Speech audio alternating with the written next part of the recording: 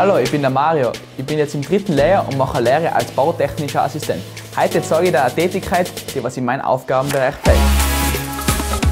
Ich zeige dir heute, wie man einen Punkt in die Wirklichkeit bringt. Was brauche ich dazu?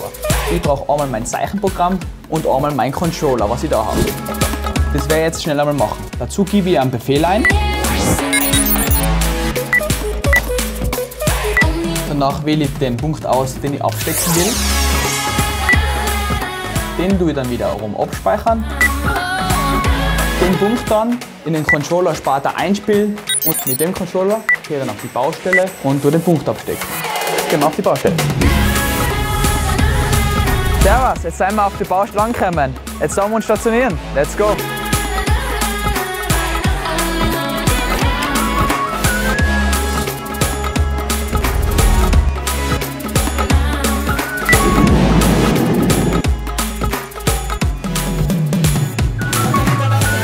Jetzt habe ich und mein Ausbilder alles aufgestellt und jetzt da wir den Punkt, was wir davor im Controller eingespielt haben, abstecken.